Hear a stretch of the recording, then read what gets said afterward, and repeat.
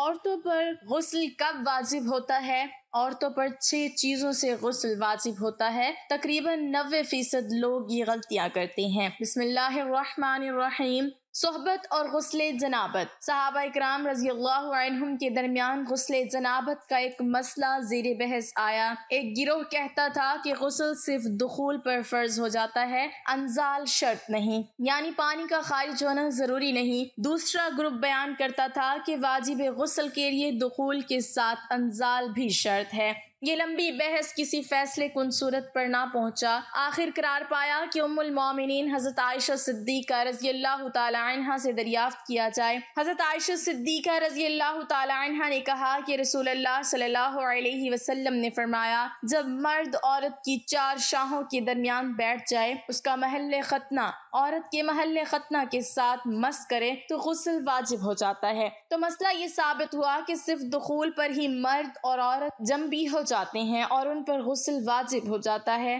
अनजाल यानी मनी का निकलना शर्त नहीं। जनाबत के अहकाम।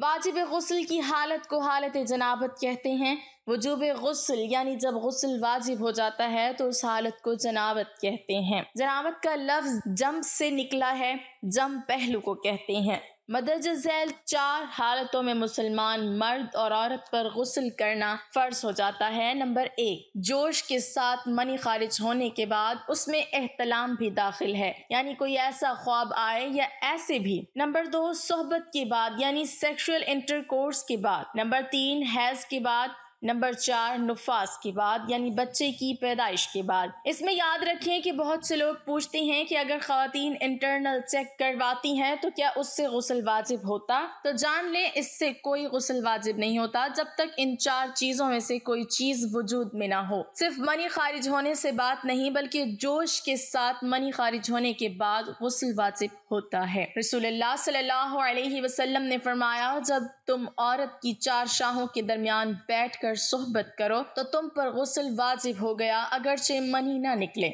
आपने गौर किया होगा कि तहारत के मसाइल बहुत तफसील के साथ बहुत से मौजूद ऐसे हैं कि जो इंसान की ज़ाहरी ज़िंदगी नहीं, बल्कि उसकी निजी और ज़ाती ज़िंदगी से मुतलिक भी हैं। लेकिन इस तरह पब्लिकली उनको ये पढ़ाना, सिखाना, ये भी एक ज़रूरत है क्योंकि आप सल्लल्लाहु अलैहि वसल्लम ने अंसार की खातन की तारीफ़ की कि अंसार की खातन कितनी अच्छी हैं जिन्हें हया दीन का इल्म हासिल करने से नहीं रोकता। तो सवाल ये पैदा होता है कि आखिर इतनी तफसीलात क्यों?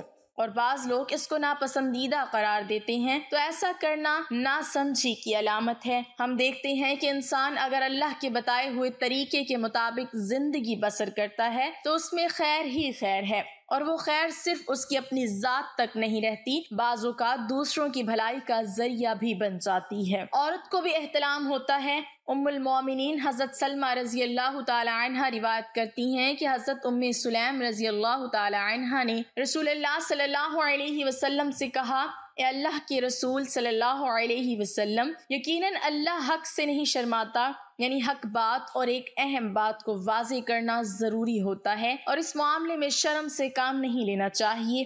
कहीं ऐसा ना हो कि इंसान अनजाने में गलत काम करता रहे। तो ये कहकर उन्होंने मसला पूछा कि क्या औरत पर गसल वाजिब है, जबकि उसको एहतलाम हो।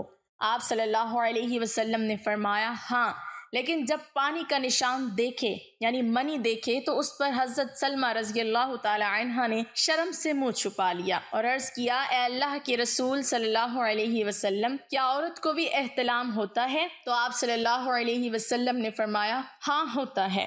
तेरा दाहिना हाथ खाक आलूद हो यानी ये एक प्यार की डांट थी और इसमें हो सकता है कि मिजाज का फ़र्क हो। बाज खातन के साथ ऐसा ना हो और बाज के साथ ऐसा हो, लेकिन इसमें जो असल चीज़ है, वो है जोश के साथ पानी खारिज होना। उसमें कहीं ऐसा ना हो कि लिकोरिया वगैरह के साथ उसको जोड़ दिया जाए। यानी दोनों चीज़ों में फ़र्क है और एहतलाम सोते वक्त होता है। और अगर सोकर उठने पर इंसान अपने कपड़ों पर ज़्यादा डिस्चार्ज देखे ख्वाब या फिर कोई फीलिंग्स याद ना भी हो, फिर भी गसल करना ज़रूरी है।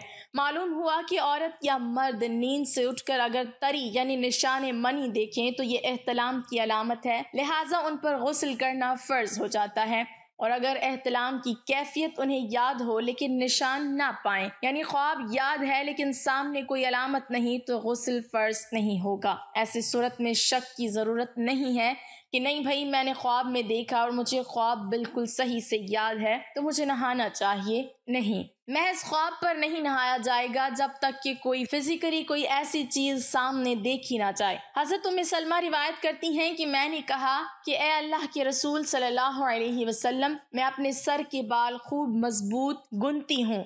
क्या मैं उन्हें गसल जनाबत के वक्त खोला करूँ? आप सल्लल्लाहु अलैहि वसल्लम ने फरमाया, उनका खोलना ज़रूरी नहीं। तेरे लिए यही काफ़ी है कि तीन दफ़ा पानी अपने सर पर डालें, फिर अपने सारे बदन पर पानी बहाए पस तो पाक हो जाएगी। यानी बालों की जड़ें भीगना ज़रूरी नहीं, जिस्म का भीगना ज़रूरी है। सारे बाल खोलना ज़रूरी नहीं है जम्बी के बालों का मसला।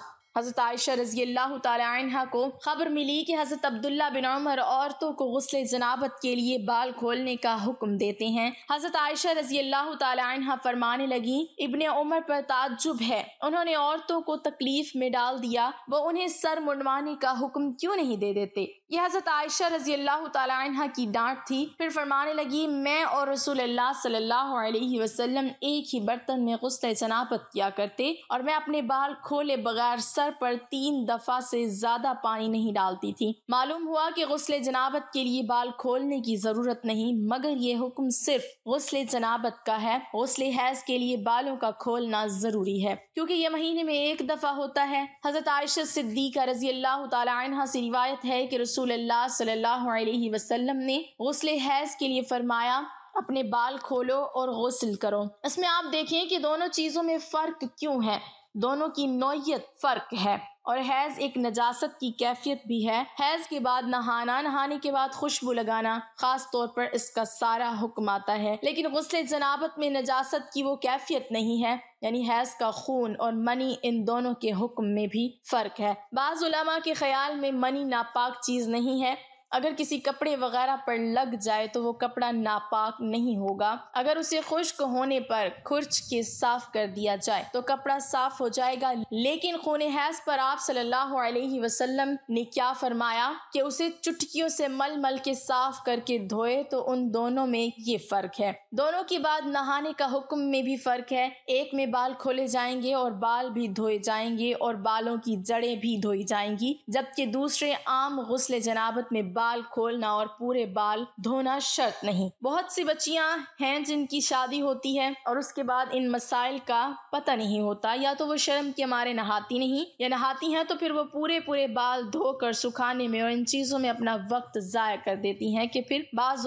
शोहर की नाफरमानी और आपस के ताल्लुकात में फ़र्क आ जाता है। अगर दीन का सही मसला पता हो तो इंसान इन तमाम मुशक्क़तों से बच जाता है और एक नॉर्मल रूटीन की लाइफ गुजार सकता है। अल्लाह पाक हमें दीन की मुकम्मल समझ नसीब फरमाए और हमें नेकोकारों में शामिल करे। आमीन। नाजरीन, कमेंट बॉक्स में अल्लाह ताला के निन्यानवे नामों में से एक नाम ज़रूर टाइप करें।